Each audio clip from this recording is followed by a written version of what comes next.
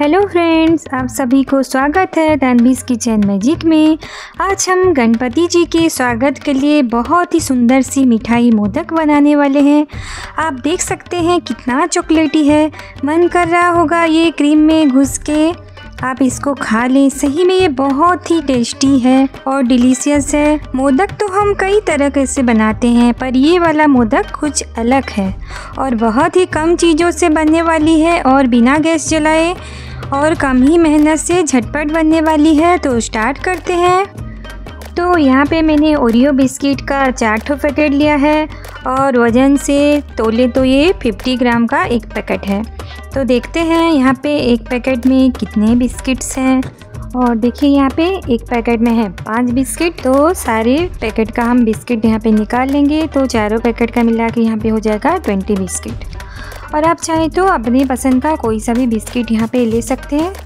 पर अंदर क्रीम होना चाहिए बिस्किट में। मुझे ओरियो बिस्किट का टेस्ट अच्छा लगता है तो मैं यहाँ पे ओरियो बिस्किट ली हूँ।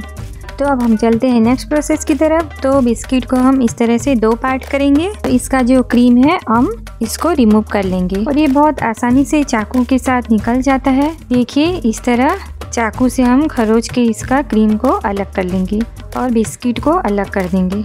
सारे बिस्किट का क्रीम को हम इसी तरह से अलग कर देंगे। तो देखिए फ्रेंड्स सारे बिस्किट के हमने यहाँ पे क्रीम निकाल लिए हैं। तो देखिए यहाँ पे बिस्किट और क्रीम को हमने अलग कर लिया है। अभी हम चलते हैं नेक्स्ट प्रोसेस की तरफ़। तो जो बिस्किट है, इसका हम छोटा छोटा टुकड़ा कर देंगे, ताकि ये जब हम ग्राइंड करेंगे तो ये आसानी से ग्राइंड हो जाएगा। अभी हम एक मिक्सी जार लेंगे और इसमें जो बिस्किट के पीसेस है उसको डाल देंगे और इसका हम एक फाइन पाउडर बनाएँगे। और देखिए यहाँ पे मैंने इसको ग्राइंड करके कितना अच्छा हमने यहाँ पे फाइन पाउडर बना लिया है।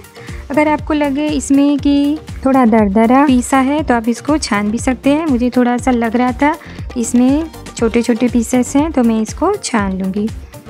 ताकि जब हम मोदक बनाएँ तो उसमें कोई लम्स ना आए और वो अच्छे से मोदक बन जाए। तो हम छलनी लेके इसको अच्छे से छान लेंगे। और देखिए, इसमें जो भी बड़ा बड़ा पीसेस बच गया है, हम वापस से इसको ग्राइंडिंग जार में लेके इसका वापस से एक फाइन पाउडर बना लेंगे। और ये पाउडर को हमें वापस से छान लेना है, जो भी एक्स्ट्रा पीसेस है, वो निकल जाएगा। और देखिए, इसी तरह से हमने यहाँ पे एक फ़ाइन पाउडर रेडी कर लिया है। अब हम चलते हैं इसके एक डो बनाने के प्रोसेस में। तो मैं यहाँ पे ले रही हूँ दो चम्मच घी। आप चाहे तो बटर का भी यूज़ कर सकते हैं। और ये बिल्कुल रूम टेम्परेचर पे है। और फिर मैं यहाँ पे लूँगी तीन से चार चम्मच मलाई। या दूध भी आप ले सकते हैं। और यहाँ पे मैंने ठंडा दूध का यूज़ किया है। तो धीरे धीरे करके हम इसको इस तरह से डो बना लेंगे, बिल्कुल आटे की जैसा। जैसे हम आटा गूँथते हैं, उसी तरह से इसको गूँथ के एक अच्छा सा हम डो बना लेंगे। अगर आपको लगेगा कि ये सूखा है तो और एक से दो चम्मच मिल्क हम यहाँ पे ऐड कर सकते हैं। इसी तरह से इसको मिलाते हुए हमें इसको चिकना कर लेना है।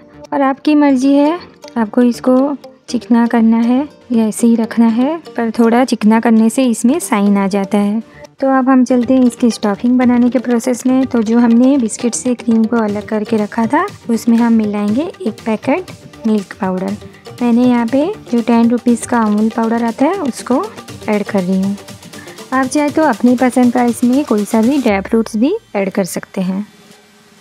अगर आपको ये बाइंडिंग अगर थोड़ा सूखा लगे तो यहाँ पे एक या दो चम्मच मिल्क भी हम ऐड कर सकते हैं।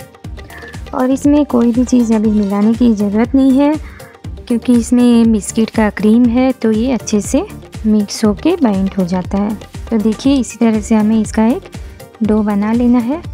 अब हम इसका छोटे छोटे बॉल्स बना लेंगे। देखिए, इसी तरह से हम छोटे छोटे चिकना करके बॉल बना लेंगे। ये एक इंच के करीब का छोटा छोटा बॉल है और ये बना देने से क्या है, हम जो मोदक बनाएँगे, उसका स्टफिंग रेडी हो जाएगा। तो हमें मोदक बनाने में आसानी होगी। तो देखिए, हमने यहाँ पे सारे बॉल्स को रेडी कर लिया है। तो चलते हैं हम हमारे दूसरे प्रोसेस की तरफ़। तो आज हम बनाएँगे बिना मोल्ड के मोदक। तो हमें क्या करना है? हाथ में थोड़ा सा घी ले लेना है और हाथ में चारों तरफ़ इसको मसल लेना है ताकि जब हम मोदक बनाए तो हमारे हाथ में ये चिपके नहीं। और जो डो है उसमें से थोड़ा सा पोर्सन लेके इसको चिकना कर लेना है और पेड़ा जैसा सेव देना है। देखिए, कितना अच्छा पेड़ा जैसा ये सेव हो गया है। और अभी इसको एक से फ्लैट सब में कर लेना है, पेड़े को देखिए। अब हम क्या करेंगे? जो स्टॉफिंग हमने बनाया था, इसको बीच में रखेंगे और इसको चारों तरफ़ से हम बंद कर लेंगे। और जो स्टॉफिंग है, उसको दबा के अंदर कर लेंगे और बाहर से ऐसे कोटिंग कर लेंगे। अब इसको हम वापस से पेड़ा जैसा सेप कर लेंगे और इसका गोला बना लेंगे, देखिए। अब हम इसे मोदक का सेप देना शुरू करते हैं। अब बीच में से इसे थोड़ा सा ऊँचा मोदक का सेप देने के लिए इसको पॉइंटेड सेप देंगे। और साइड में से भी इसको इस तरह से चिकना कर देंगे और नीचे से इसको फ्लैट कर देंगे ताकि ये अच्छे से स्टैंड कर सके।